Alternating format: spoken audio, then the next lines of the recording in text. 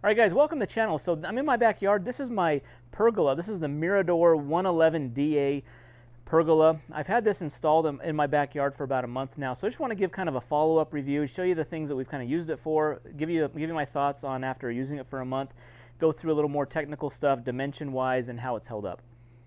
This one is a 10 foot by 13 foot pergola. It's the louvered, manual louvered pergola. And the dimensions are it's 13 feet long this way, 10 feet wide this way. This is the charcoal color. It also, it comes in this color as well as the white color. We chose this one because this kind of meet, this kind of meets our needs, but it comes in those different colors, and it also comes in variety of different sizes too. A little bit larger, uh, but this is the 10 by 13 size. Let me show you the dimensions. So these poles are 10 feet wide right here. Uh, they're a little bit less on the inside. Inside, it's about uh, nine foot three inches or so on the on the inside here. Going this way, we have uh, exactly 13 feet across the length of this. Yeah, and then this is this is uh, 13 feet right to the outside edges of the pole. So the 10 by 13 dimension is on the outside of these poles.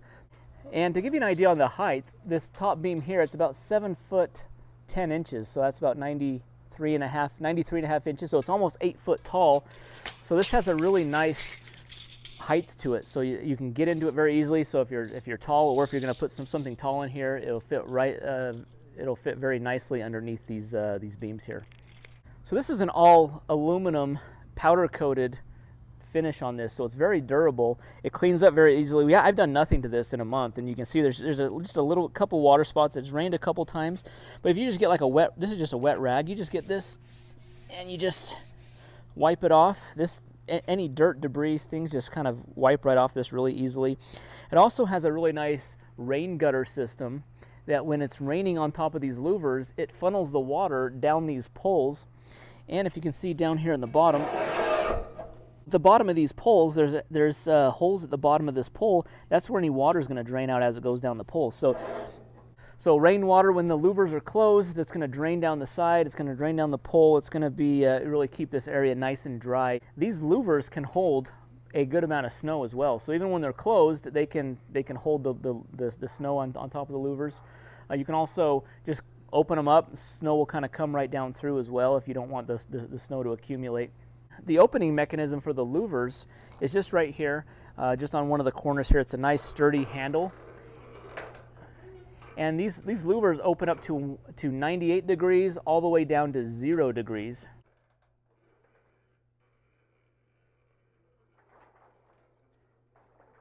There they are, all the way closed. And then to open them, we can just go there. The nice thing too is it can go just a little bit. So if you just want a little bit of sun, a little bit of uh, wind to be able to go through,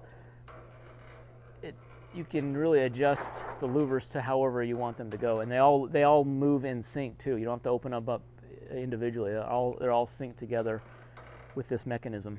All right, included with the, the pergola are these anchors. There's four on each post that you would anchor this down. I haven't anchored this down yet. Uh, I'm, I'm, i plan on doing it. I just haven't gotten around to it. And this thing is actually really solid. This thing's probably 450 pounds as is. And if it's windy, we've actually just opened up the louvers and wind has been able to go right through it and this thing hasn't moved at all. So putting these anchors in, it includes the masonry bit to drill into concrete. If you're putting it on wood, a wood base like a deck or something like that, you can just put a lag bolt through there. But they include four on each post. So there's 16 of these included. And you just would drill down the length of this anchor, tap it in, you, you, you tighten the bolt down, it's going to grip into the concrete and it's going to keep it nice and secure.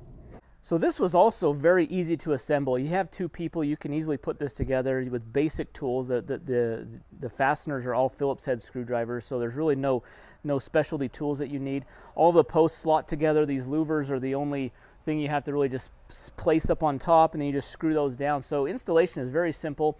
Also, I feel confident that I could move this if I needed to. So let's say you're moving or you want to move locations to it you can take this apart and move it without a whole lot of trouble but also when it's built it's going to be very sturdy it's not going to move it's going to be a it can be a permanent structure if you need it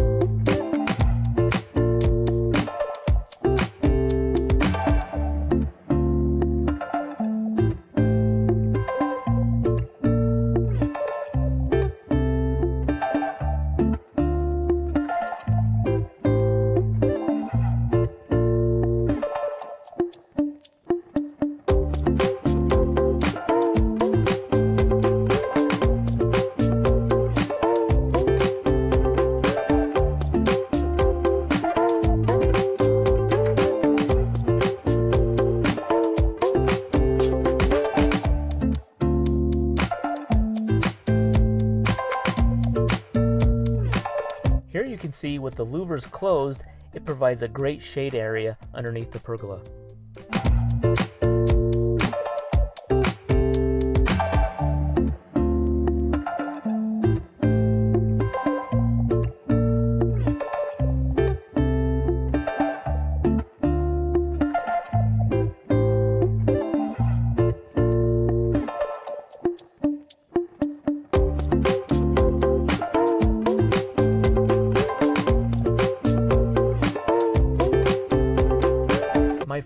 Feature of this pergola is the adjustable louvers.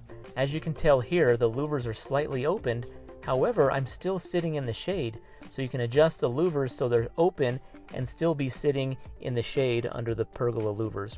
This allows airflow to flow through the pergola, up through the louvers, and it remains nice and cool, nice and relaxing area to be under.